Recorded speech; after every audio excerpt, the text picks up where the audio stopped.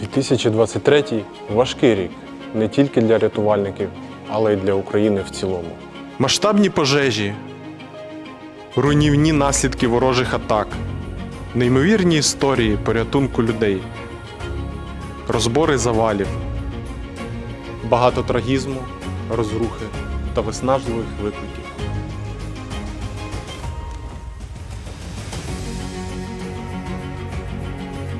Але разом з цим були в цьому році і хороші моменти.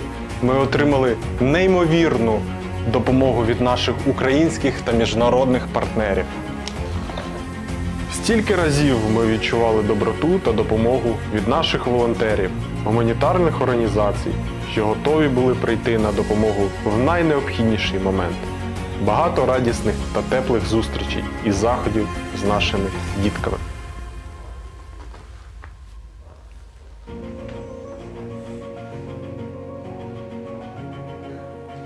Я впевнений, що щира віра в наше світле майбутнє прокладе нам шлях до перемоги.